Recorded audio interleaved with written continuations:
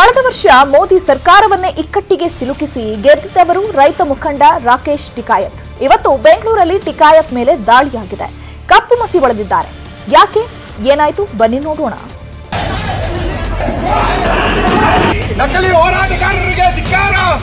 ರಾಕೇಶ್ ಟಿಕಾಯತ್ ದೆಹಲಿಯಲ್ಲಿ ನಡೆದ ರೈತ ಹೋರಾಟದಲ್ಲಿ ಮುಂಚೂಣಿಯಲ್ಲಿದ್ದು, ಸ್ವತಃ ಮೋದಿ ವಿರುದ್ಧವೇ ಹೋರಾಟದಲ್ಲಿ ಗೆದ್ದಿದ್ರು.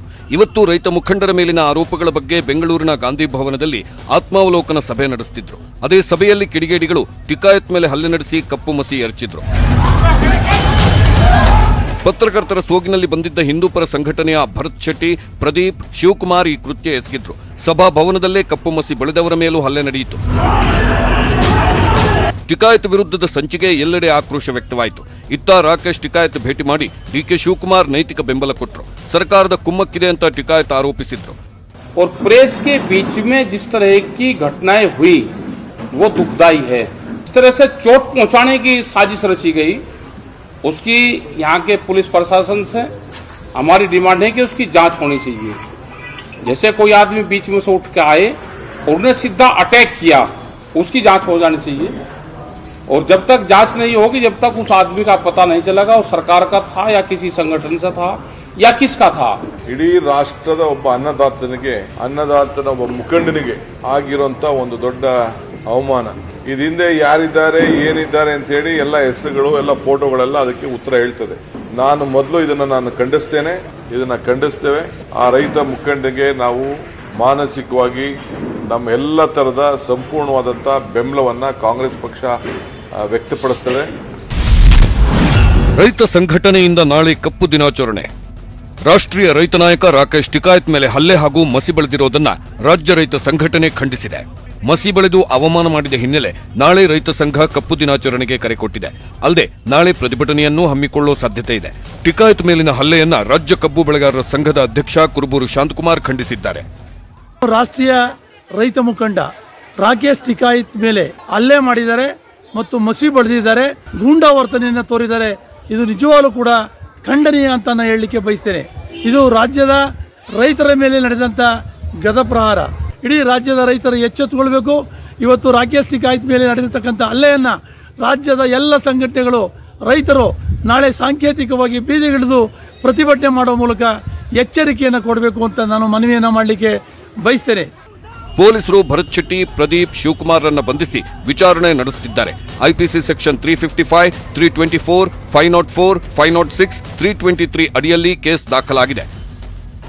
Ashik Mulki, news eighteen Kannada, Bengaluru. ಆ ಮನೆಯಲ್ಲಿ ಬಾಗಿಲು ಒಡೆದಿರಲಿಲ್ಲ. ಕಿಟಕಿಯೂ ಓಪನ್ ಆಗಿರಲಿಲ್ಲ. ಆದರೂ ರಾತ್ರಿ ಕಳೆದು ಬೆಳಗಾಗೋದ್ರೊಳಗೆ ಮನೆಯಲ್ಲಿದ್ದ ಚಿನ್ನಾಭರಣ ಕಾಣೆಯಾಗಿತ್ತು. ಮನೆಗೆ ಯಾರೊಬ್ಬ ಬಂದಿಲ್ಲ ಅಂದಿದ್ದು ಕಳವಾಗಿತ್ತು ಹೇಗೆ? ಆದ್ರೆ ಪೊಲೀಸರಿಗೆ ಮಾತ್ರ ಮನೆ ಹೊರಗೆ ಸಿಕ್ಕ ಸಾಕ್ಷ್ಯ ಒಂದರಿಂದ ಕಳ್ಳ ಹೇಗೆ ಕಳ್ಳತನ ಮಾಡಿದ್ದ ಅನ್ನೋದು ಗೊತ್ತಾಯ್ತು. ಈ ಕುರಿತ ಇಂಟ್ರೆಸ್ಟಿಂಗ್ ಸ್ಟೋರಿ ಇಲ್ಲಿದೆ ನೋಡಿ. ಗೇಟ್ ಬೀಗ ತೆಗೆಯಲ್ಲ, ಬಾಗಿಲು ಒಡೆಯಲ್ಲ ತೆಂಗಿನ ಮರ ಹತ್ತಿ ಬಂದೆ ಕಳ್ಳನ ಕೈಚಳಕ. ಅದು ಮೇ ಇಪ್ಪತ್ತೇಳರ ಮಧ್ಯರಾತ್ರಿ ಮನೆಯಲ್ಲಿದ್ದಂತ ಗಂಡ ಹೆಂಡತಿ ಹಾಗೂ ಪುಟ್ಟ ಮಗು ಊಟ ಮಾಡಿ ಮಲಗಿದ್ರು. ಬೆಳಗ್ಗೆ ಎದ್ದು ನೋಡಿದರೆ ಮನೆಯಲ್ಲಿರುವಂತ ಹಣ, ಚಿನ್ನಾಭರಣ ಎಲ್ಲವೂ ಕೂಡ ಮಾಯ ಆಗಿತ್ತು. ಮನೆ ಬೀಗ ತೆರೆದಿಲ್ಲ, ಬಾಗಿಲು ಒಡೆದಿಲ್ಲ ಹಾಕಿದ್ದಂಥ ಕಿಟಕಿ ಹಾಕಿದಂತೆ ಇದೆ. ಆದರೂ ಕೂಡ ಮನೆಯಲ್ಲಿ ಕಳ್ಳತನ ಆಗೋಗಿತ್ತು. ಈ ಬಗ್ಗೆ ಪೊಲೀಸರಿಗೂ ಕೂಡ ದೂರು ಕೊಟ್ಟ ಮೇಲೆ ತನಿಖೆಗೆ ಬಂದಂತ ಪೊಲೀಸರಿಗೆ ಕಳ್ಳನ ಕೈಚಳಕ ಎಂಥದ್ದು ಅನ್ನೋದು ಗೊತ್ತಾಗಿ ಹೋಯಿತು.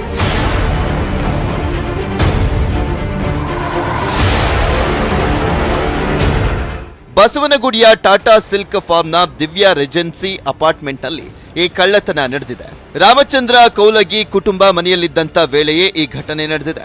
ಕತರ್ನಾ ಕಳ್ಳ ಈ ಮನೆಗೆ ನುಗ್ಲಿಕ್ಕೆ ಬಳಸಿದ್ದು ಗೋಡೆಗೆ ತಾಕಿಕೊಂಡೇ ಇರುವಂತ ತೆಂಗಿನ ಮರವನ್ನ.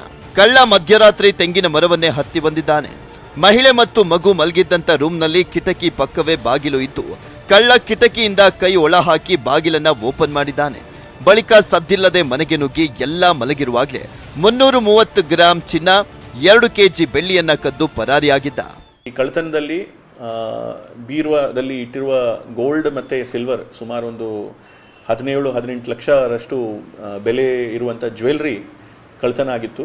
ಆದರೆ ಬೀರುವ ಮುರಿದಿರೋದಿಲ್ಲ. ಅದರ ಬೀರುವದಲ್ಲಿ ಲಾಕ್ ಹಾಕದೇ ಇದ್ದದ್ದು ಕಂಡು ಬಂದಿತ್ತು. ಇಬ್ಬರು ಕೂಡ ಹಸ್ಬೆಂಡ್ ಹಾಲಲ್ಲಿ ಮಲಗಿದ್ರು, ವೈಫ್ ಬೆಡ್ರೂಮಲ್ಲಿ ಮಲಗಿದ್ರು. ಸೊ ಇಬ್ರು ಕೂಡ ರೂಮಲ್ಲಿ ಇದ್ದಾಗಲೇ ಕಳ್ತನ ಆಗಿರುತ್ತದೆ. ಪೊಲೀಸರು ಬಂದು ಪರಿಶೀಲಿಸಿದಾಗ ತೆಂಗಿನ ಮರದ ಕಳ್ಳನ ಕೃತ್ಯ ಗೊತ್ತಾಗಿದೆ. ಕೇಸ್ ದಾಖಲಿಸಿಕೊಂಡ ಬಸವನಗುಡಿ ಪೊಲೀಸರು ಅಂತೂ ಇಂತೂ ಹುಡುಕಿ ಮೂವತ್ತೊಂದು ವರ್ಷದ ಆರೋಪಿ ಸಾದಿಕ್ನನ್ನ ಬಂಧಿಸಿದ್ದಾರೆ. ಅನಾಥವಾಗಿದ್ದಂತ ಸಾದಿಕ್ ಹೈಫೈ ಲೈಫ್ ಅನ್ನ ಮಾಡಬೇಕು ಅಂತ ಹಲವೆಡೆ ಕಳ್ಳತನವನ್ನ ಮಾಡಿದ್ದು ಗೊತ್ತಾಗಿದೆ. ಸದ್ಯ ಆರೋಪಿಯಿಂದ ಪೊಲೀಸರು ಚಿನ್ನಾಭರಣ ಸೀಸ್ ಮಾಡಿ ಮುಂದಿನ ವಿಚಾರಣೆಯನ್ನ ನಡೆಸುತ್ತಿದ್ದಾರೆ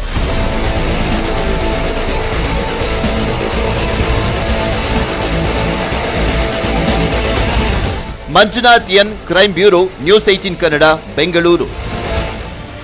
ಸಿಲಿಕ್ ಆಕ್ಸಿಡೆಂಟ್ ಸಿಟಿ ಆಗ್ತಾ ಇದೆ. ವಾರದಲ್ಲಿ ಮಿನಿಮಮ್ ಎರಡು ಭೀಕರ ಅಪಘಾತಗಳು ಆಗ್ತಾ ಇವೆ. ಕಳೆದ ನಾಲ್ಕು ತಿಂಗಳಲ್ಲಿ ಸಿಲಿಕಾನ್ ಸಿಟಿಯಲ್ಲಿ ದಾಖಲಾದ ಆಕ್ಸಿಡೆಂಟ್ಗಳ ಸಂಖ್ಯೆ ಕೇಳಿದ್ರೆ ನೀವು ಶಾಕ್ ಆಗೋದು ಗ್ಯಾರಂಟಿ. ಅಪಘಾತಕ್ಕೆ ಕಾರಣ ಏನು? ಎಲ್ಲೆಲ್ಲಿ ಎಷ್ಟೆಷ್ಟು ಅಪಘಾತ ಆಗಿದೆ ಅನ್ನೋ ರಿಪೋರ್ಟ್ ಇಲ್ಲಿದೆ ನೋಡಿ. ಆಕ್ಸಿಡೆಂಟ್ ಸಿಟಿ ಆಗ್ತಿದೆ. ರಾಜಧಾನಿ. ನಾಲ್ಕು ತಿಂಗಳಲ್ಲಿ ಸಾವಿರದ ಇನ್ನೂರ ಹನ್ನೆರಡು ಆಕ್ಸಿಡೆಂಟ್ ಕೇಸ್. ಬೆಂಗಳೂರು ಹೆಸರಿಗಷ್ಟೇ ರಾಜ್ಯ ರಾಜಧಾನಿ. ಇಲ್ಲಿ ಒಂದು ಸರಿ ಇದ್ರೆ ಒಂದು ಸರಿ ಇರಲ್ಲ.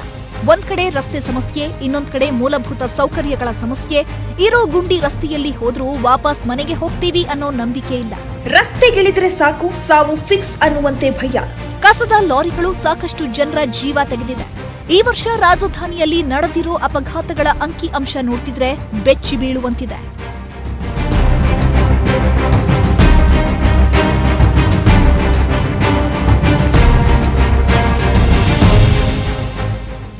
ನಾಲ್ಕೇ ನಾಲ್ಕು ತಿಂಗಳ ಅವಧಿಯಲ್ಲಿ ಬೆಂಗಳೂರಲ್ಲಿ ಸಾವಿರದ ಇನ್ನೂರ ಹನ್ನೆರಡು ಭೀಕರ ರಸ್ತೆ ಅಪಘಾತಗಳು ಸಂಭವಿಸಿದೆ. ಇದರಲ್ಲಿ ಇನ್ನೂರ ಮೂವತ್ತೊಂದು ಜನರು ಸ್ಥಳದಲ್ಲೇ ಸಾವನ್ನಪ್ಪಿದ್ದಾರೆ. ಇವು ಕೇಸ್ ದಾಖಲಾಗಿರೋ ಅಪಘಾತಗಳ ಸಂಖ್ಯೆ. ಆದರೆ ಇನ್ನೂ ದಾಖಲಾಗದೇ ಇರೋ ಕೇಸ್ಗಳು ಇನ್ನೆಷ್ಟೋ. ರಾಜಧಾನಿಯ ಅಪಘಾತಗಳ ಸಂಖ್ಯೆ ಎಷ್ಟಿದೆ? ಯಾವ್ಯಾವ ವಲಯದಲ್ಲಿ ಹೆಚ್ಚು ಅನ್ನೋದನ್ನ ನೋಡಿದ್ರೆ. ರಾಜಧಾನಿಯಲ್ಲಿ ಕಳೆದ ನಾಲ್ಕು ತಿಂಗಳಲ್ಲಿ ಸಾವಿರದ ಇನ್ನೂರ ಹನ್ನೆರಡು ಅಪಘಾತ ಪ್ರಕರಣ ದಾಖಲಾಗಿದೆ. ಇದರಲ್ಲಿ ಇನ್ನೂರ ಮೂವತ್ತೊಂದು ಜನ ಜೀವ ಕಳೆದುಕೊಂಡಿದ್ದಾರೆ. ಬರೋಬ್ಬರಿ ಸಾವಿರದ ಐವತ್ತೈದು ಜನ ಗಂಭೀರವಾಗಿ ಗಾಯಗೊಂಡು ಆಸ್ಪತ್ರೆಯಲ್ಲಿ ಚಿಕಿತ್ಸೆ ಪಡೆದಿದ್ದಾರೆ. ಕೆಲವರು ಗುಣಮುಖರಾಗಿದ್ದಾರೆ. ರಸ್ತೆ ಗುಂಡಿ ತಪ್ಪಿಸಲು ಹೋಗಿ ಹದಿನೈದು ಅಪಘಾತ ನಡೆದಿದೆ. ಚಾಲಕರ ನಿರ್ಲಕ್ಷ್ಯದಿಂದ ಎಂಟುನೂರ ಮೂವತ್ತು ಅಪಘಾತ ನಡೆದಿದೆ.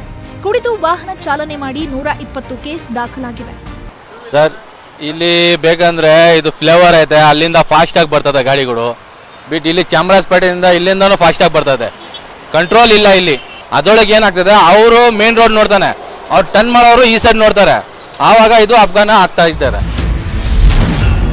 ರಸ್ತೆ ಗುಂಡಿ ಬಗ್ಗೆ ನ್ಯೂಸ್ ಏಟೀನ್ ಕನ್ನಡ ನಿರಂತರ ಸುದ್ದಿ ಪ್ರಸಾರ. ರಸ್ತೆ ಗುಂಡಿ ತಪ್ಪಿಸಲು ಹೋಗಿಯೂ ಭೀಕರ ಅಪಘಾತ. ರಸ್ತೆ ಗುಂಡಿಗಳ ಬಗ್ಗೆ ನ್ಯೂಸ್ ಏಟೀನ್ ಪದೇ ಪದೇ ಎಚ್ಚರಿಸುತ್ತಿದೆ ಆದರೆ ಗುಂಡಿಗಳಿಂದಲೇ ಹಲವು ಜೀವಗಳು ಹೋಗಿದೆ. ಬೆಂಗಳೂರಲ್ಲಿ ನಾಲ್ಕು ತಿಂಗಳಲ್ಲಿ ರಸ್ತೆ ಗುಂಡಿಯಿಂದಾಗೆ ಹದಿನೈದು ಅಪಘಾತ ನಡೆದಿದೆ. ಇನ್ನು ಹೈವೇಗಳಲ್ಲೂ ಹೆಚ್ಚಿನ ಅಪಘಾತಗಳು ವರದಿಯಾಗಿದೆ. ಸರ್, ಅವರು ಹೇಳ್ತಾರೆ ಈ ಥರ ಕ್ಲೋಸ್ ಮಾಡ್ತೀವಿ, ಇದು ಮಾಡ್ತೀವಿ. ಬ್ಯಾಡ್, ಪೆಥೆಟಿಕ್ ರೋಡ್ಸ್ ಇದೆಲ್ಲ. ಮಳೆ ಬಂದರೆ ಎಲ್ಲಿ ನೋಡಿದ್ರು ಗುಂಡಿಗಳೇ ಇರೋದು. ಡ್ರೈವಿಂಗ್ ಈ ವಯಸ್ಸಾದವರು, ಪ್ಲಸ್ ರಾತ್ರಿಯಲ್ಲಿ ಬಂದರೆ ಸ್ಟ್ರೀಟ್ ಲೈಟ್ಸ್ ಇರೋದಿಲ್ಲ ಇಲ್ಲಿ. ಯಾರು ಏನಾಗುತ್ತೆ ಅಂತ ಗೊತ್ತಾಗೋದಿಲ್ಲ. ಒಬ್ಬರಲ್ಲ ಒಬ್ಬರ ಚಿಕ್ಕ ನಿರ್ಲಕ್ಷ್ಯ, ಇನ್ನೊಬ್ಬರ ಜೀವವನ್ನೇ ಬಲಿ ಪಡೆದಿವೆ. ಇದೆಲ್ಲ ನೋಡ್ತಿದ್ರೆ ರಾಜಧಾನಿಯಲ್ಲಿ ರಸ್ತೆಗಿಳಿಯೋಕು ಭಯ ಪಡುವಂತಾಗಿದೆ. Manjunath N crime bureau, news eighteen Kannada, Bengaluru. ಐದು ದಿನದ ಹಿಂದೆ ಚಾಮರಾಜಪೇಟೆ ಉದ್ಯಮಿಯನ್ನ ಮನೆಯಲ್ಲಿ ಕೆಲಸಕ್ಕಿದ್ದವನೇ ಕೊಲೆ ಮಾಡಿ ಎಸ್ಕೇಪ್ ಆಗಿದೆ. ಇಪ್ಪತ್ತೆಂಟು ಕೆಜಿ ಬೆಳ್ಳಿಯನ್ನ ಮೂಟೆ ಕಟ್ಟಿ ಹೊತ್ತೊಯ್ಯಲಾಗದೆ ಸಿಕ್ಕ ಸಿಕ್ಕಷ್ಟು ಹಣ ಚಿನ್ನವನ್ನ ಹೊತ್ತೊಯ್ದಿದ್ದ. ಆದ್ರೆ ಆತ ಎಲ್ಲೇ ಇದ್ರೂ ನಮ್ಮ ಪೊಲೀಸರು ಬಿಡ್ತಾರ. ಅವನು ಎಸ್ಕೇಪ್ ಆದ ಎರಡೇ ದಿನಕ್ಕೆ ಗುಜರಾತ್ ಗಡಿಯಲ್ಲೇ ಆತನನ್ನ ಹೆಡೆಮುರಿ ಕಟ್ಟಿ ತಂದಿದ್ದಾರೆ ರಾಜಧಾನಿಯ ಪೊಲೀಸರು. ವೃದ್ಧ ಮಾಲೀಕನ ಕೊಂದವ ಎರಡೇ ದಿನದಲ್ಲಿ ಲಾಕ್. ಗುಜರಾತ್ ಎಂಟ್ರಿಗೂ ಮುನ್ನವೇ ಬಿಜುರಾಮ್ ಅರೆಸ್ಟ್. ಅವತ್ತು ಮೇ ಇಪ್ಪತ್ನಾಲ್ಕರ ರಾತ್ರಿ ಚಾಮರಾಜಪೇಟೆಯ ಎಲೆಕ್ಟ್ರಿಕಲ್ ಮಳಿಗೆಯ ಉದ್ಯಮಿ ಜುಗುರಾಜ್ ಎಂಬ ವೃದ್ಧನ ಕೊಲೆಯಾಗಿತ್ತು. ಮನೆಯಲ್ಲಿ ಕಳೆದ ಎಂಟು ತಿಂಗಳಿನಿಂದ ಕೆಲಸಕ್ಕಿದ್ದ ಬಿಜುರಾಮ್ ಎಂಬಾತನೇ ಹತ್ಯೆಗೈದು ಎಸ್ಕೇಪ್ ಆಗಿದ್ದ. ವೃದ್ಧನ ಕೊಂದು ಮನೆಯಲ್ಲಿದ್ದ ಚಿನ್ನ, ಹಣ, ಬೆಳ್ಳಿಯನ್ನ ಮೂಟೆಗಳಲ್ಲಿ ಕಟ್ಟಿದ್ದ. ಆದರೆ ಇಪ್ಪತ್ತೆಂಟು ಕೆಜಿ ಬೆಳ್ಳಿ ಹೊತ್ತೊಯ್ಯಲಾಗದೆ ಅದನ್ನ ಮನೆಯಲ್ಲೇ ಬಿಟ್ಟು ಉಳಿದ ಹಣದ ಜೊತೆ ಎಸ್ಕೇಪ್ ಆಗಿದ್ದ. ಆದರೆ ಆ ಆರೋಪಿ ಗುಜರಾತ್ ಎಂಟ್ರಿಗೂ ಮುನ್ನವೇ ಖಾಕಿ ಕೈಲಿ ಲಾಕ್ ಆಗಿದ್ದಾನೆ.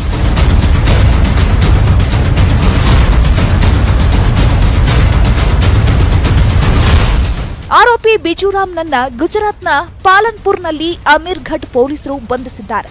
ಕೊಲೆ ಮಾಡಿದ ಬಳಿಕ ಆರೋಪಿ ರೈಲಿನಲ್ಲಿ ಎಸ್ಕೇಪ್ ಆಗಿದ್ದ. ಈ ನಡುವೆ ಬೆಂಗಳೂರು ಪೊಲೀಸರು ಸಹ ಆರೋಪಿಯ ಫೋಟೋವನ್ನ ಗುಜರಾತ್ ಮತ್ತು ರಾಜಸ್ಥಾನ ಪೊಲೀಸರಿಗೆ ಕಳಿಸಿದ್ರು. ಹೀಗೆ ಎರಡನೇ ದಿನದಲ್ಲಿ ಪಾಲನ್ಪುರದ ಬಳಿ ಆರೋಪಿ ಚಿನ್ನಾಭರಣ ಸಮೇತ ಚೆಕ್ ಪೋಸ್ಟ್ ಕ್ರಾಸ್ ಮಾಡುವಾಗ ಸಿಕ್ಕಿಬಿದ್ದಿದ್ದಾನೆ.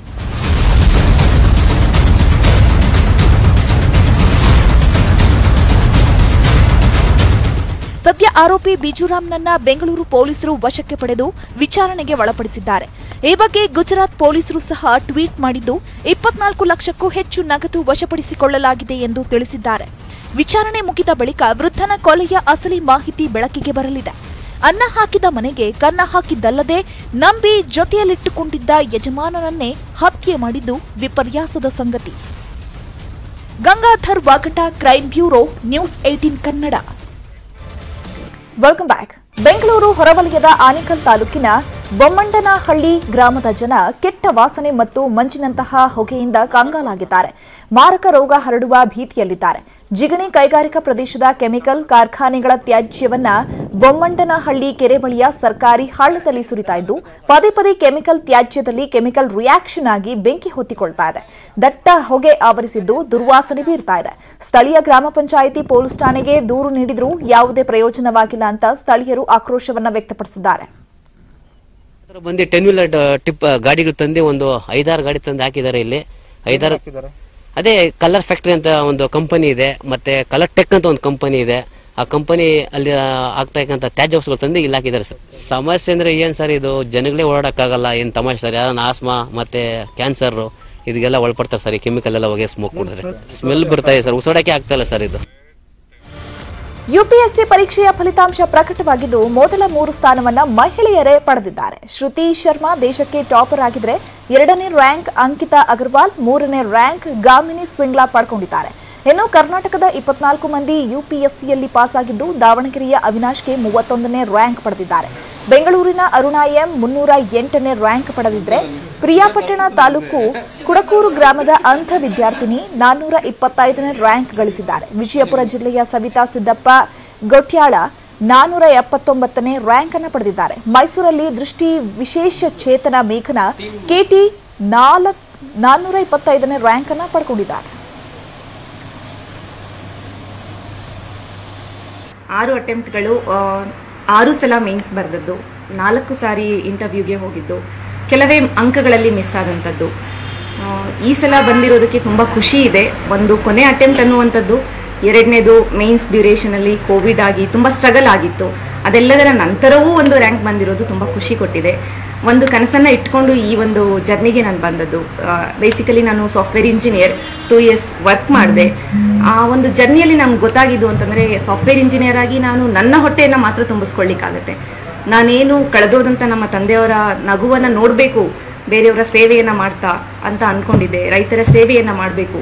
ಹಳ್ಳಿ ಜನಕ್ಕೆ ಒಂದು ಏನೋ ಒಂದು ಬದಲಾವಣೆಯ ಆಶಾರೇಖೆಯನ್ನು ತರಬೇಕು ಅನ್ನುವಂಥ ಒಂದು ಉದ್ದೇಶ ಏನಿತ್ತು ಅದು ನನಗೆ ಆ ಇಂಜಿನಿಯರಿಂಗ್ ಜಾಬಿಂದ ಆಗೋದಿಲ್ಲ ಅಂತ ಅನಿಸಿ ಸುದ್ದಿ ಮುಂದುವರಿಯುತ್ತೆ ಸ್ಮಾಲ್ ಬ್ರೇಕ್ ಆದ್ಮೇಲೆ.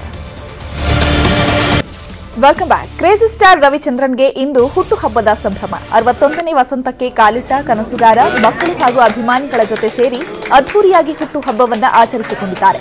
ಮೂರು ವರ್ಷಗಳ ಬಳಿಕ ಕ್ರೇಜಿ ಸ್ಟಾರ್ ಬರ್ತ್ಡೇ ಸೆಲೆಬ್ರೇಷನ್ ಮಾಡ್ತಿರುವ ಕಾರಣ ರವಿಮಾಮನ ಮನೆಯ ಬಳಿ ಅಭಿಮಾನಿಗಳು ಜಮಾಯಿಸಿ ನೆಚ್ಚಿನ ನಟನ ಹುಟ್ಟುಹಬ್ಬಕ್ಕೆ ಕೇಕ್ ಹಾರ ತಂದು ವಿಶ್ ಮಾಡುವ ಮೂಲಕ ಎಂಜಾಯ್ ಮಾಡ್ತಿದ್ದಾರೆ.